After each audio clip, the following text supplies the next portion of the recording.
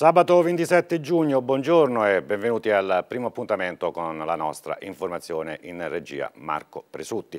Dopo l'emergenza lavoro mai risolta, sulla giunta regionale si abbatte la tegola della questione morale. Partiti e movimenti chiedono le dimissioni del governatore e puntano il dito sull'inchiesta Biocom che coinvolge direttamente Paolo Frattura è più grave della vicenda Elcom, ha dichiarato Massimo Romano, il servizio di Giovanni Minicozzi.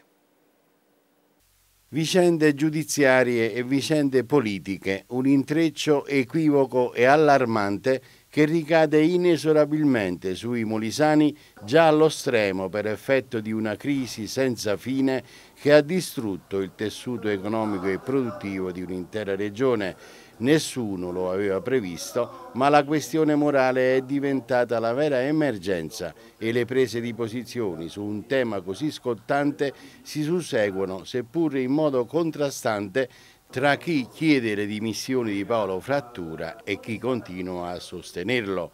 Sullo sfondo però resta la vicenda Biocom e il caso Scarabeo. In effetti due reazioni eh, contrastanti ma entrambe in qualche modo sgradevoli a mio avviso. Da un lato eh, si assiste a dichiarazioni di militanti o elettori del centro-sinistra che quasi hanno festeggiato per questo arresto nei confronti di un assessore del loro stesso partito o della loro stessa coalizione, che oltre che deplorevole diciamo, sul piano diciamo così, umano è poco piacevole sotto quello politico e comunque incomprensibile. Dall'altro eh, chi invece osserva per contro un silenzio che è altrettanto anomalo, penso eh, al silenzio di Antonio Di Pietro, ad esempio, che immagino cosa sarebbe successo, che cosa avrebbe fatto, che cosa avrebbe detto se questa vicenda avesse riguardato una giunta eh, di un'altra parte politica o dove lui non è, diciamo così, eh, in modo così presente eh, un grande sostenitore.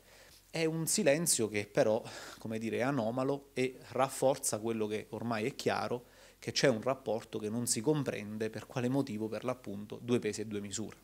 L'altro di Pietro, Cristiano, invece sostiene che la regione è parte lesa della vicenda e quindi frattura deve andare avanti e non deve dimettersi. Ma bisognerebbe chiedere innanzitutto come, abbia fatto, come lo sappia, come abbia fatto a leggere le carte della Procura, visto e considerato che le indagini sono ancora in corso, e però il problema politico resta sul tappeto, che si continua a guardare la pagliuzza negli occhi degli altri e continuano invece a far finta di ignorare la trave che è negli occhi, nello specifico del governatore, perché vorrei ricordare che c'è ancora pendente la vicenda Biocom che riguarda il governatore in persona e fermo restando la presunzione di non colpevolezza che vale per Scarabeo così come vale per Frattura, resta il problema politico. In quel caso addirittura le somme che si contestano sono addirittura maggiori e in quel caso, cioè nel caso del governatore, lui continua ad essere governatore a fronte del fatto che c'è un contenzioso anche giurisdizionale innanzi al Consiglio di Stato, oltre che, come si apprende dai giornali, eh, pendente alla Procura della Repubblica. E questo, questo eh, comportamento che per l'appunto si finge di chiudere un occhio per una vicenda e invece si grida allo scandalo per l'altra, secondo me è sintomatico di alcuni rapporti che non funzionano più e questo credo che ormai sia chiaro un po' a tutti. Ormai c'è emergenza anche sulla questione morale? Quello che si sta verificando oggi è quello che avevamo anticipato in campagna elettorale per filo e per segno, con la pubblicizzazione della famosa mappa del potere dove era chiarissimo come si sarebbero divisi diciamo, pol le poltrone e eh, diciamo, gli incarichi eh, politici, gli incarichi pubblici e anche i grandi affari privati che si stanno facendo. Quindi la questione morale c'è non da oggi, ma c'è già da allora. Oggi assume delle tinte patologiche, ancora più patologiche, perché stanno emergendo dei fatti che oggettivamente illustrano quello che non è più un caso isolato, ma è un vero e proprio sistema che fa capo al presidente Frattura e rispetto al quale io credo che sia il minimo che ci sia una reazione sociale di non accettare supinamente e passivamente questo stato di cose come se fosse normale, perché a mio avviso, ed è l'opinione credo che comincia ad essere maggioritaria, non è affatto normale quello che sta accadendo. Lavorano da anni negli ospedali della regione, ma si allontana sempre di più il diritto di essere stabilizzati. I precari della sanità contestano i nuovi provvedimenti dell'ASREM e sono pronti a presentare ricorso. Ce ne parla in questo servizio Fabrizio Occhionero. Sanità regionale dilaniata dai tagli poi ci sono i precari che da anni prestano servizio negli ospedali e non si sono visti ancora riconoscere i diritti maturati nel tempo. Una protesta rinnovata a Termoli per contestare le decisioni assunte dalla ASREM e impugnare i provvedimenti. Tanti lavoratori pronti a condividere la strada dei ricorsi. Stanchissimi di essere precari perché è una situazione veramente insostenibile, soprattutto visto quello che sta succedendo ultimamente, la ASREM eh, non sta rispondendo a quello che noi chiediamo che è un nostro diritto, anzi sta emanando dei, del, dei decreti a livello mh, eh, regionale che vanno contro eh, eh, i precari che hanno da, da una vita, sono al servizio del cittadino per garantire i livelli assistenziali. Sono diversi gli aspetti affrontati per istruire i ricorsi e ribadire le rivendicazioni dei lavoratori in un contesto di grande incertezza. Adesso si vengono addirittura eh, preferiti lavoratori di graduatorie approvate da altre regioni che quindi inevitabilmente passeranno davanti a loro. Il rischio concreto con gli ultimi atti adottati dalla, dalla ASREM di ritrovarsi addirittura fuori anche dalla possibilità di lavorare come precari. Questi ci sembra una profonda ingiustizia visto che eh, dopo la nostra diffida dove sollecitavamo la ASREM a rivedere questi provvedimenti fortemente penalizzanti per i lavoratori e di fronte alla mancata risposta da parte delle, della ASREM alle istanze dei, diciamo, dei lavoratori non ci vediamo costretti a impugnare anche in via giudiziaria questi provvedimenti. E per sostenere la causa dei precari della sanità molisana è sceso in campo anche il movimento Difesa del Cittadino tutte le occasioni in cui si tratta di difendere i diritti del cittadino i diritti della sanità ed in questo caso specifico i diritti dei precari. I precari hanno un sacrosanto diritto che vanno assolutamente stabilizzati. Stiamo assistendo a chiusura di ospedali a chiusura di reparti. Se non ci fossero stati i precari nella regione Molise, gli ospedali e i reparti avrebbero chiuso da decenni. Quindi i precari vanno assolutamente stabilizzati e tutelati sotto ogni aspetto. Nella giornata di oggi l'Associazione Banco di Solidarietà di Campobasso organizza, in collaborazione con diverse parrocchie, una raccolta alimentare straordinaria a favore delle famiglie bisognose della provincia di Campobasso. I volontari presenti all'ingresso di supermercati aderenti all'iniziativa consegneranno un sacchetto e un volantino invitando ad acquistare generi alimentari a lunga conservazione. Bene, con la nostra informazione è tutto, adesso passiamo alla rassegna stampa.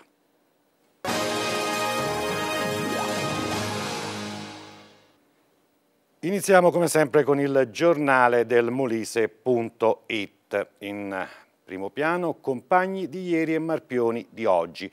La questione comunista in Molise, storia di una truffa elettorale. L'articolo è a firma di Pasquale Di Bello.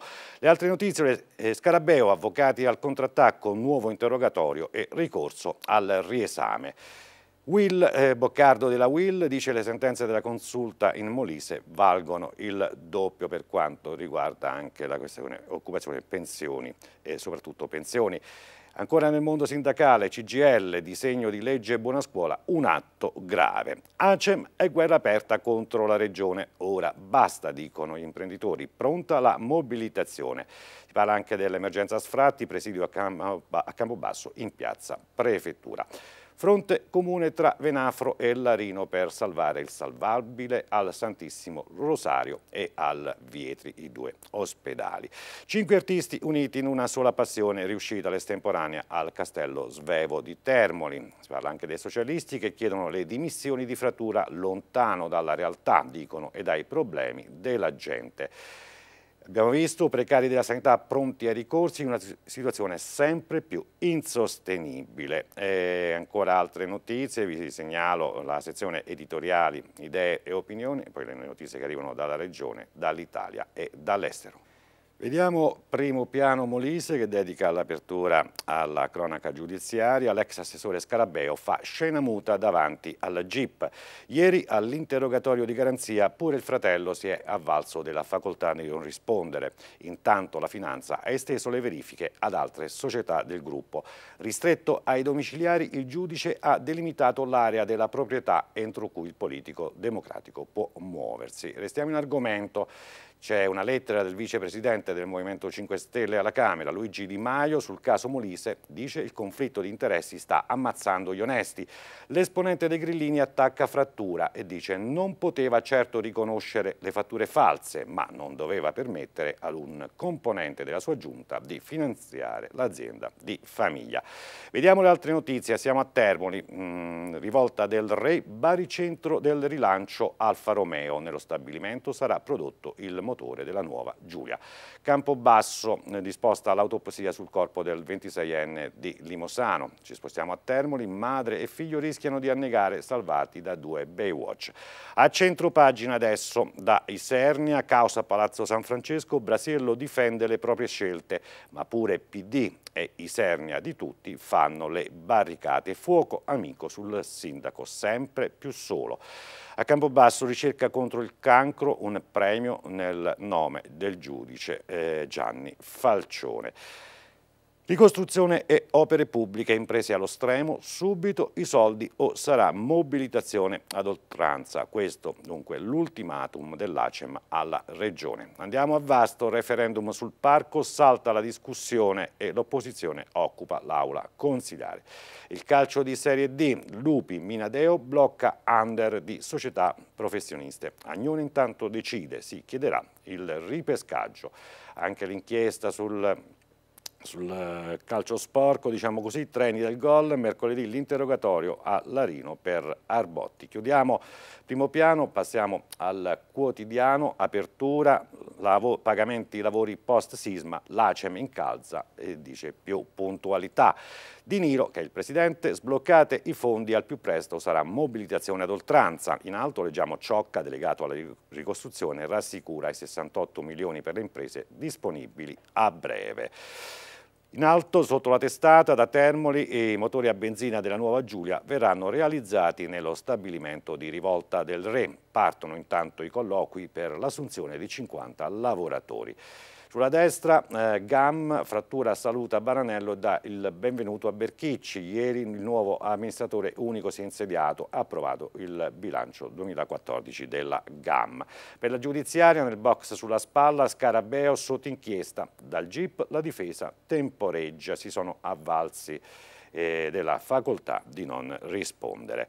Berlusconi deve risarcire Di Pietro per 90.000 euro, aveva detto la sua laurea. È falsa. notizia di attualità sulla sinistra, il frutto anticancro che nasce in Molise va ad Expo 2015. Altri richiami, da, eh, notizia che riguarda Limosano, ma la cronaca, autopsia e funerali per l'estremo saluto a Luca. Dunque disposto l'esame autoptico sul corpo del 26enne vittima di un incidente sul lavoro. A Termoli, Calciopoli, il sindaco difenderà l'indagato Arbotti. Sbrocca nei panni di avvocato difensore dell'agente FIFA indagato. Andiamo al calcio, quello giocato, Serie D, Lupi, nel mirino di Minedeo ci sono i Molisani, Sivilla e Borrelli. Calcio a 5, Venafro, eh, Francesco Giglio Fiorito saluta i bianconeri. Ad Agnone adesso la società Granata presenterà domanda di ripescaggio, le possibilità per giocare in Serie D ci sono. Il nuoto Angioculu eh, chiude positivamente l'avventura in azzurro a Baku. Da, il quotidiano alla Gazzetta del Molise Vediamo le ruspe marciano sulla regione, c'è la foto del consigliere delegato eh, Salvatore Ciocca, imprese allo stremo attaccano Ciocco, l'abbiamo visto anche su altri quotidiani. Oggi l'Oscar viene assegnato ad Angelo Di Stefano, il tapiro invece a Francesco Pilone.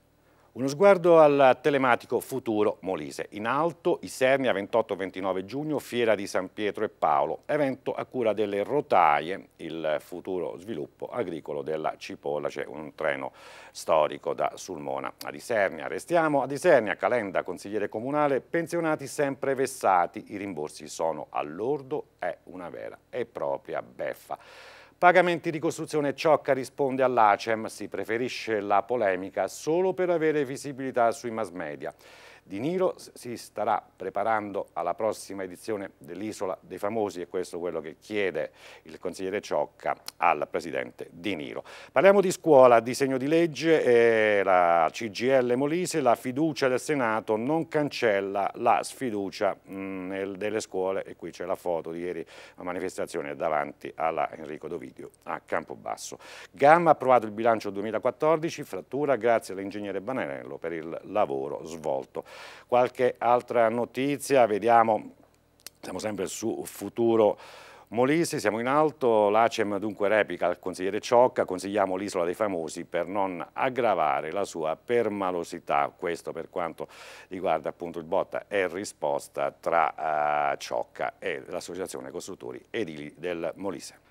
Un venerdì di terrore ieri in tre continenti, vedete il titolo del Corriere della Sera, adesso siamo ai quotidiani nazionali, stragi dopo l'appello dell'ISIS a colpire durante il Ramadan.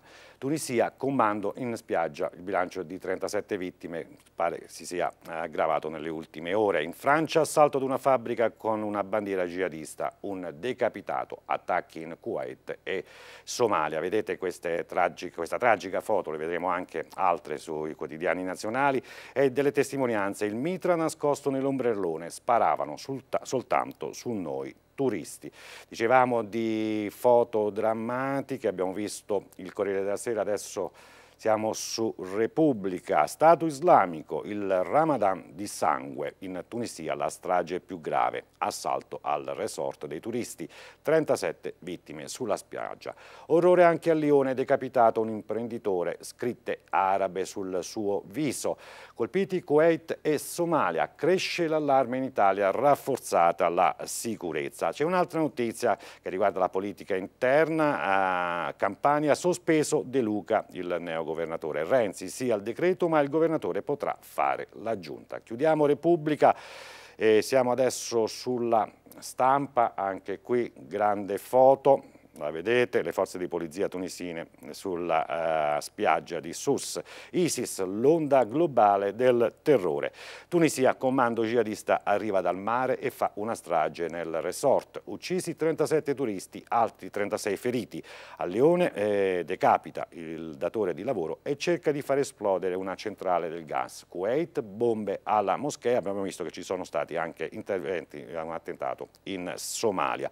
Immigrati, compromesso UE, Grecia è il giorno della verità. Sul caso De Luca, leggiamo sempre sulla stampa, il Premier firma il decreto di sospensione del governatore.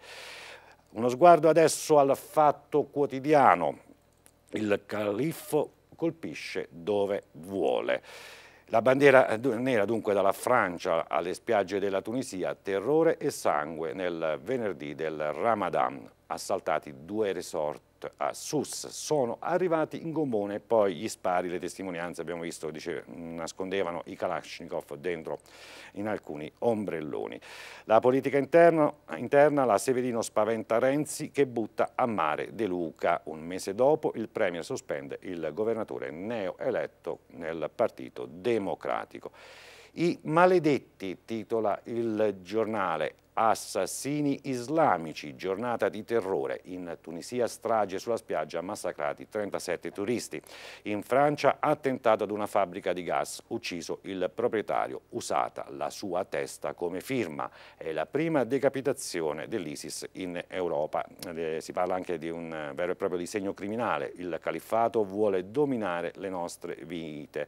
E poi c'è la Francia che torna nel mirino, quella grandeur dimezzata dalla politica corrente. Il eh, governo, mm, vediamo ancora, eh, regala l'Italia ai terroristi senza difese, scrive il giornale.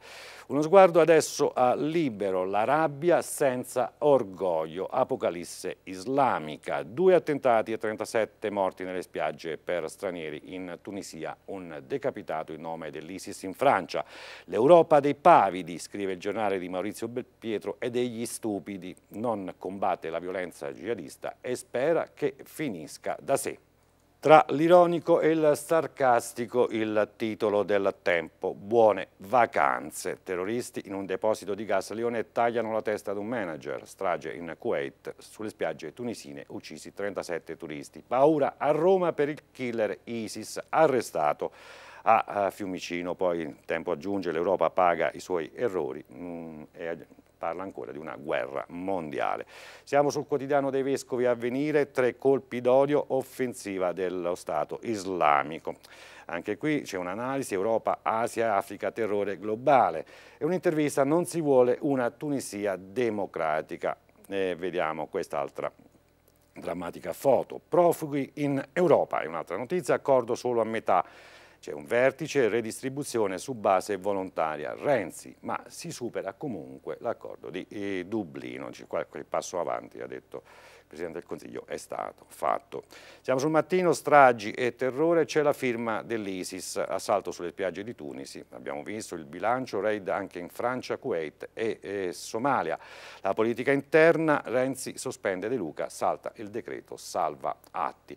Uno sguardo adesso al mondo dello sport, sulla Gazzetta, in apertura si parla del Milan che prende quota, attacco si avvicina Bacca, ecco l'accordo con Mister B. E in alto invece c'è il basket, storica Sassari, lo scudetto è tuo. Basket thriller, i sardi battono Reggio Emilia in gara 7. È dunque triplete, primo titolo, Coppa Italia e Supercoppa. Sulla spalla il motociclismo, il sabato di Vale in Paul ad Assen tenta l'allungo su Lorenzo che è ottavo. Bene, come sempre con la Gazzetta concludiamo l'appuntamento del mattino. Grazie per averci seguito, vi auguro una buona giornata vi ricordo alle 14 il telegiornale con tutte le ultime notizie e gli aggiornamenti. Arrivederci.